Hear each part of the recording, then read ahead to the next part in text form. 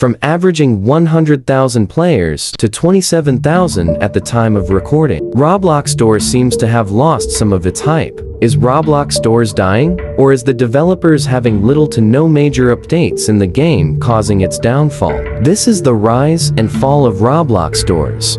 So to know how this downfall might have occurred, we have to look at the main parts of the game to understand what might have went wrong. Let's start first with entities. So the main monsters in the game can be monsters like Rush, Seek, Ambush, and Figure. But, let's explain how these work starting with Rush.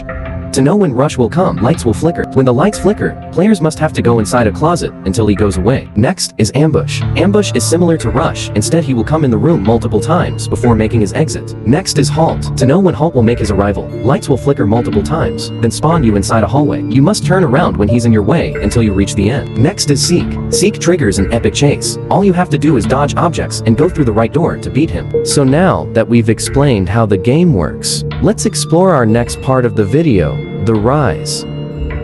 Doors was made on the March 14, 2021, and was one of the most realistic horror games people have ever seen. Everyone thought Doors had a good chance of becoming one of the most biggest games on the platform. YouTubers like Denis, Flamingo, and KreekCraft made videos on the incredible horror game.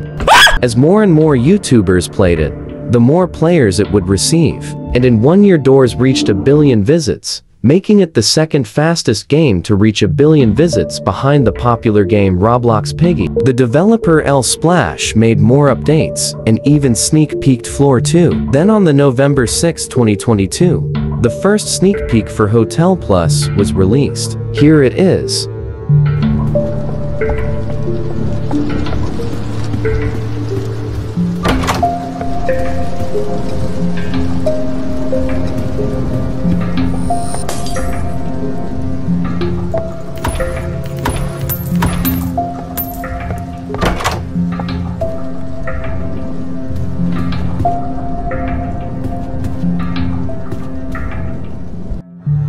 Lots of people were excited about Hotel Plus, and negative comments felt extinct in the video's comment section. It's cool how you decided to put depth in the game as a painting for a little easter egg. I think that would mean you guys think that the IDs is creative. I know you guys aren't adding them into the game, and I personally think it should stay like that. Anyways, this update looks sick. Awesome. I adore the care put into this game and the community. The game looks very beautiful. This is amazing. The lock suddenly breaking, which I've always wanted makes it more eerie, and those two doors right next to each other looked ominous. The Doors community were excited about the future of the game, and a week later, we got the biggest update yet.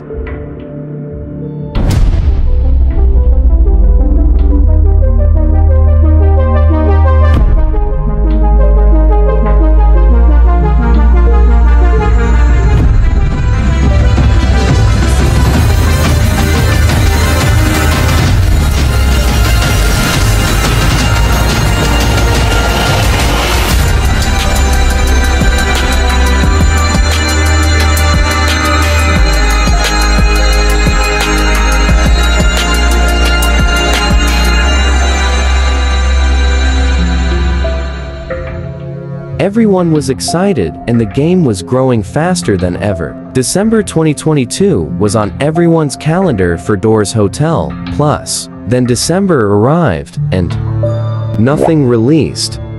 It wasn't until 29th of January Doors Hotel Plus released. Players skyrocketed to around 150,000 to even 200,000. All right, here we go.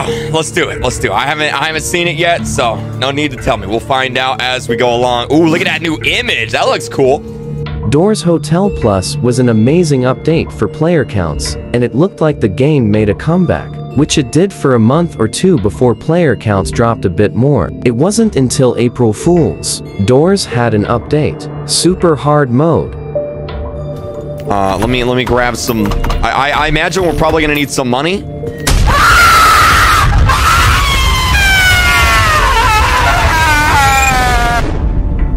What? Are you serious? This game sucks. I'm gonna go play Slide Down a Rainbow Slide. What was that? Super hard mode was definitely super hard. but since super hard mode, no major updates have occurred, which brings us to the next part of the video, the fall. Ever since super hard mode, player counts have dropped, and fast. Videos dropping from around 2 million views to around 200,000 views. Is Doors dying? Or is no major updates causing the downfall of Roblox Doors?